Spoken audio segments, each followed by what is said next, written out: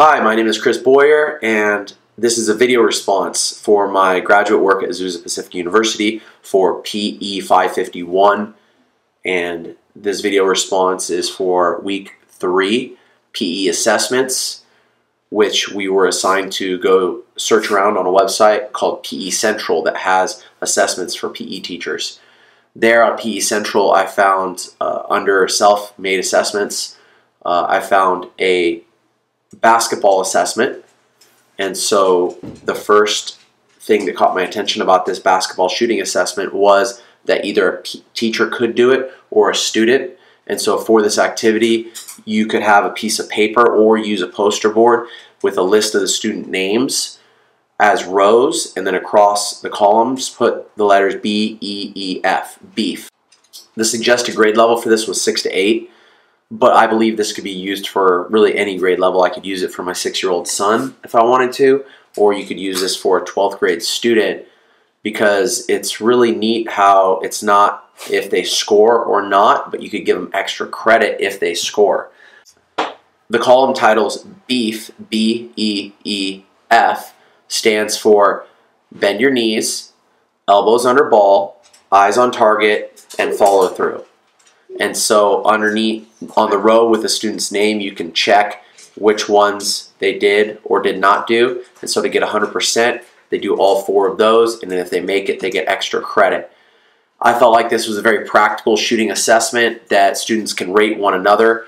And it's pretty straightforward. Uh, it removes some degree of subjectivity to shooting assessment because even as a coach, I could say when I'm assessing my students' shooting, sometimes a student will be doing certain things a little bit different, but they're shooting really well. And so uh, this is just one of those things where you could say these are basics to learning the fundamentals of shooting. And I feel like this can be used in a lot of different ways for uh, different shooting methods with the overhand throw in water polo. So I felt like this was a similar type of uh, rubric or assessment that I could transition into uh, my sport teams as well as in PE. So that's why I found this one interesting. To answer the second question, uh, why I would choose a specific assessment and how I would use it with my students and athletes, I chose this assessment because number one, I like basketball and my son is playing it. In my uh, classes, I have them playing it as well. I thought that in my next unit I could potentially pay, play basketball, so I wanted to look into what assessments would be available for that.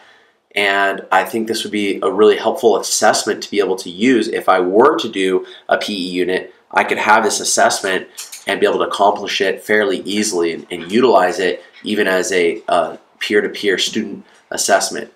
So I felt like this was helpful, and the shooting mechanics is just a fundamental thing in basketball. So I feel like knowing that that's a fundamental skill, having an assessment to go along with it, will be very helpful. And I felt like, as I shared already, that this type of assessment can transition into water polo as well, or other skills within basketball, other skills within water polo. I could use a similar format, coming up with a different acronym with swim stroke if I wanted to, or in basketball and dribbling. And so I believe that this is very helpful and that we can use this type of assessment for individual skills when we're teaching team sports. And so, as a coach, individual skills are very important to me, helping students be able to do those, and having evaluations and assessment material for students is very good to have as a coach.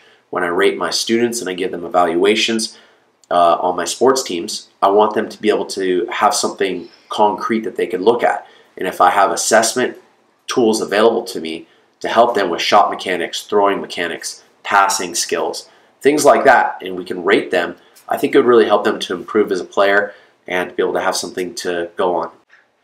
Okay, in closing, I feel that this has been a really helpful website, and I'm eager to see what some of my other peers used as their assessments of interest and see if maybe they had something that could also help me with my teaching and coaching.